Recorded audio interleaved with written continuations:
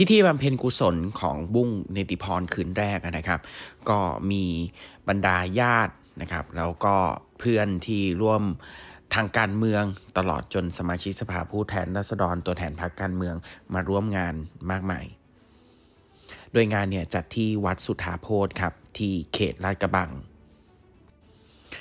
โดยสมาชิกสภาผู้แทนราษฎรนะครับ สสกรุงเทพมหานครจากทางพรรคเพื่อไทยนะครับ คุณธีรรัตน์สำเร็จวานิช ก็เดินทางมา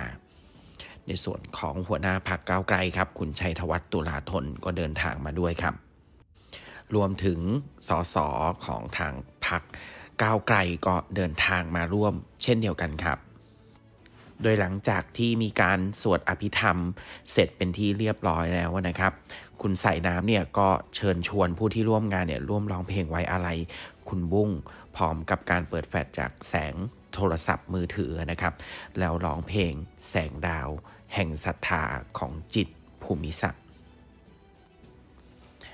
ต่อด้วยบทเพลงของสามัญชนครับของวงสามัญชน จากนั้นตะโกนทิ้งท้ายว่าปล่อยเพื่อนเราปฏิรูปกระบวนการยุติธรรม โดยงานสวดอภิธรรมศพครั้งนี้นะครับ ก็เป็นคืนแรก